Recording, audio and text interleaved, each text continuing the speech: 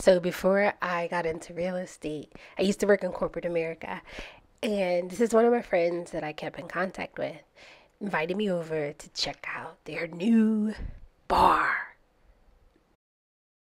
It was so nice that I went down and I was so impressed that I went back up, pulled out my camera, and did a video.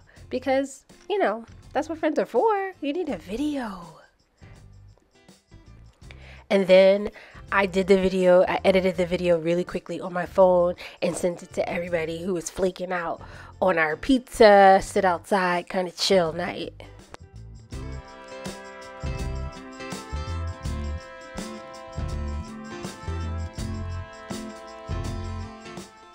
For those wondering where I am, Mike lives in Macungie, which is in the East Penn School District. So that's where we are.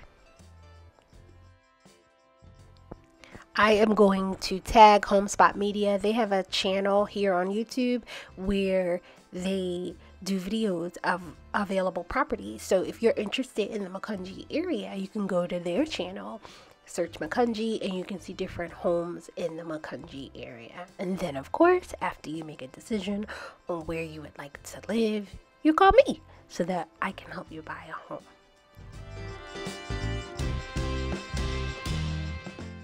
Mike was telling me that the TV is rated for outdoor use. I didn't even think of that. I just figured, you know, if you closed it up, but I guess they have TVs for outdoor now. But you know, guys, Mike did not buy this house with me, but that's okay because I wasn't a realtor at the time. But I did let him know that whatever relationship he had with the former realtor, that is over.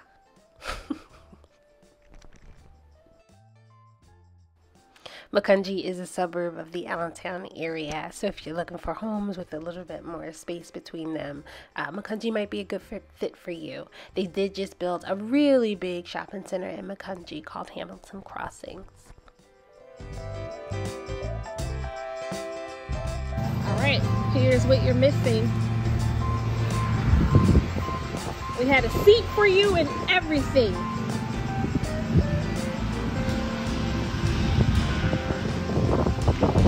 Get pizza.